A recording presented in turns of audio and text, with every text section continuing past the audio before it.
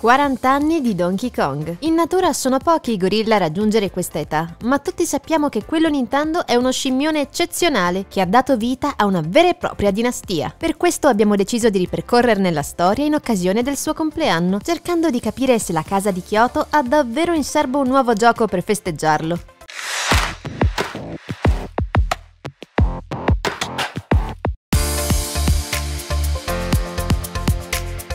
Nato in Giappone il 9 luglio 1981 all'interno del cabinato omonimo, Donkey Kong è uno dei tanti figli di Shigeru Miyamoto e del compianto Gunpei Yokoi, uno di quelli che almeno all'inizio non è stato capito da tutti. Lo avevano infatti scambiato per un cattivo, un bruto che rapisce l'Olivia di turno e la porta in cima ai palazzi per emulare il proprio re, King Kong ovviamente. La fanciulla, per chi non lo sapesse, si chiamava Pauline e dopo aver superato il trauma si è data alla politica ed ora è sindaca di una grande città. Anche Super Mario, oggetto Jumpman, se preferite, ha impiegato un po' di tempo a perdonarlo. In Donkey Kong Jr. il baffuto idraulico imprigiona il gorilla in una cella piccola così e prova a ostacolare in tutti i modi i tentativi di salvataggio portati avanti dal suo giovane figlio. In realtà, se si pensa ai trascorsi del vecchio Donkey, Mario sembrerebbe anche avere le sue buone ragioni a volerlo tenere in cattività, ma nel 1984 arriva il Game Watch Donkey Kong Circus. Qui l'idraulico rivela la sua natura sadica e vendicativa, facendo esibire i due gorilla in un circo dove li maltrattano maltratta continuamente. In Donkey Kong 3, invece, non sappiamo bene che cosa spinga Donkey nella serra di Stanley the Bugman. In ogni caso, a parte qualche piccola scaramuccia legata ai giocattoli mini Mario apparsi nella serie Mario vs Donkey Kong, le due icone Nintendo sembrano infine aver raggiunto una tregua che ha portato alla liberazione di Donkey e al suo trasferimento sull'isola dei Kong. Di Donkey Kong Jr. invece perdiamo le tracce. Nel 1992 lo vediamo sfidare gli amici di Mario in Super Mario Kart, ma già in Donkey Kong Country nel nel 1994 è il nipote del primo Donkey Kong a guidare l'avventura, insieme a una vera e propria famiglia di Kong. Nella nuova serie creata da Rare incontriamo infatti Candy e Funky, Diddy e Dixie, Swanky e Kiddy. Del padre del nuovo protagonista però nessuna traccia. Al Donkey originale, ora accompagnato dalla moglie Wrinkly, ci si riferisce invece con il nome Cranky, che ben rispecchia la sua natura di vecchio un po' scontroso, sempre intento a dare consigli all'irrispettoso nipote. Nella trilogia Country per Super Nintendo incontriamo anche dei nuovi nemici nemici, i Kremlings, una razza di bellicosi coccodrilli antropomorfi che hanno intrapreso una guerra senza fine contro i primati. Li derubano delle loro scorte di banane e rapiscono i vari membri della famiglia. Su Nintendo 64, nel 1999, la serie passa al 3D, ma il nuovo millennio fa riscoprire a Donkey la sua passione per la musica, con una serie di giochi musicali dove possiamo suonare i bonghi insieme a lui. E in Jungle Beat possiamo persino utilizzarli come controller per un vero e proprio platform.